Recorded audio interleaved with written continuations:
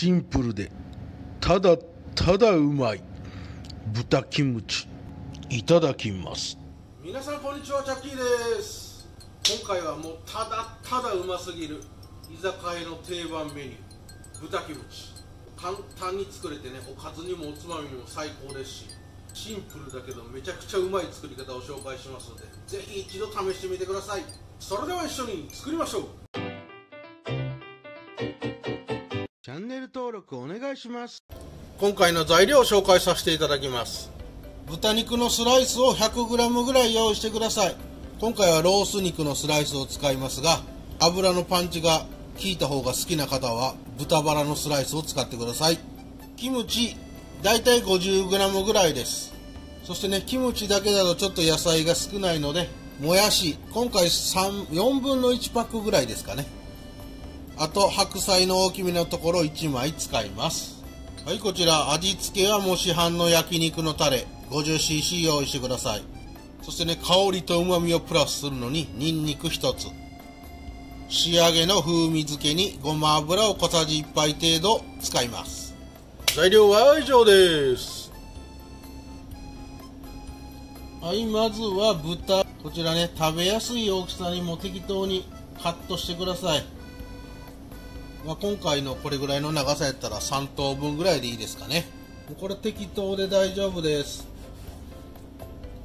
はいこんな感じ。はいそしてこの豚肉ね切り分けたらこれ焼肉のタレ。この中にねドボッとつけてね混ぜ合わしといてください。これがね後々効いてきます。もう豚肉にも下味がつくので。もう適当でいいですよ。ぐちゃぐちゃっとこう混ぜといてくださいね。はいこれで OK はいそして白菜。白菜もね食べやすい大きさに。炒めるとね多少しんなりするんで。適当に切っちゃってください、まあ、葉っぱのところとこの芯のところ。いろいろな食感があった方がいいんでね。サイズを変えて。もう普通に切り分けていただいたら結構です。はいこんなもんでいいんじゃないですかね。はいこの葉っぱの方もね少し大きめにもうザクッといっといていただいたら完璧。はいこれで OK はいそしてこちらにんにくはよいしょ。まあちょっとヘタを切り落として包丁でね押しつぶしてください、はい、こんな感じでズバッとね。そして中の芽があればちょっと取り除いてください。このままねみじん切りにしていきます。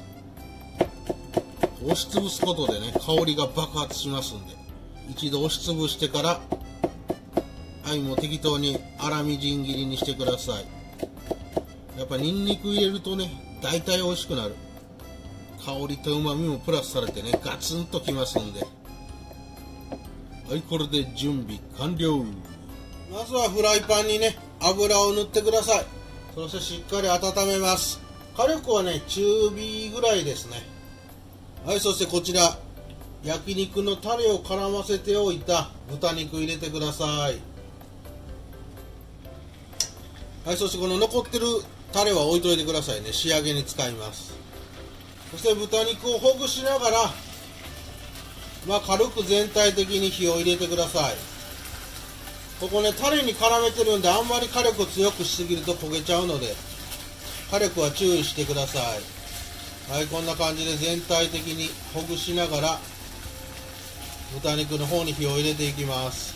豚肉の方にね8割ぐらい火が通りましたらここでねキムチ白菜もやし。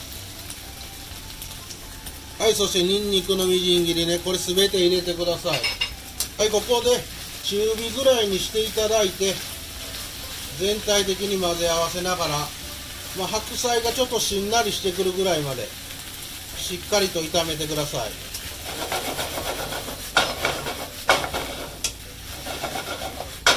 はいここでしっかりね混ぜ合わせながら炒めてキムチの味をお野菜の方に移していきます。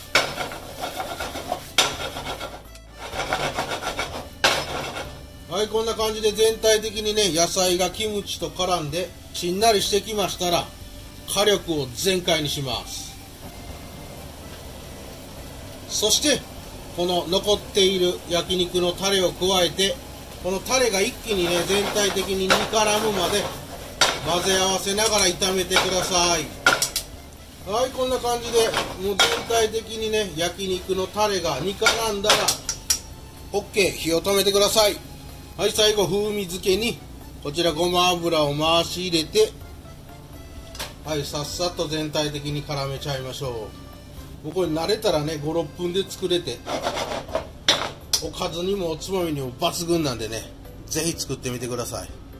はいこんな感じでね器に盛り付けて仕上げに刻みネギや卵黄をトッピングしていただいたらねさらにコクマロになって美味しいんで。それでは今日もポーチャだきます。